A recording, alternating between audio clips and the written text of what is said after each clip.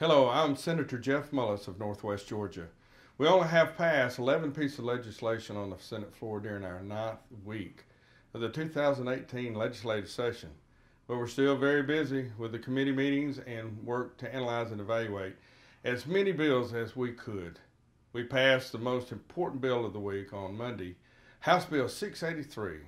House Bill 683 allows a budget for the 2018 fiscal year, the midterm budget we call it, in the amount of $25.4 million. The Senate agreed on the House substitute and the bill was signed by Governor Nathan Deal uh, later on Friday. Speaking of the governor signing bills, on Monday, Governor Deal signed House Bill 159, which will update Georgia's adoption laws for the first time in almost 30 years.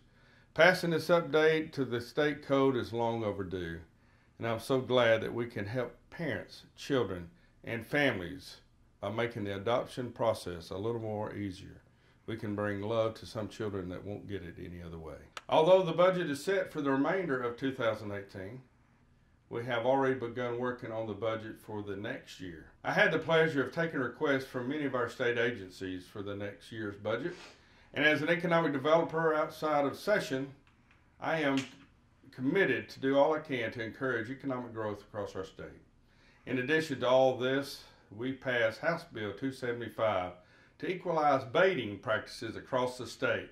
What we used to do regarding hunting in South Georgia, we will soon do in North Georgia as well we balanced the playing field for all hunters. Also, we welcome former UGA football hero, player, and current NFL wide receiver for the Patriots. Malcolm Mitchell came back to say hello as a Bulldog fan. It was very exciting to meet him again and to hear him speak to our chamber. We may have been a little slower this week than we were the past, but next week, well, the pace will pick up and we'll be right back into the saddle again. Before we uh, finish, though, we want to make sure that you contact us if you have any thoughts or suggestions that we can do to improve the quality of life for each and every Georgian. I'm Senator Jeff Mullis from Northwest Georgia. Have a good day.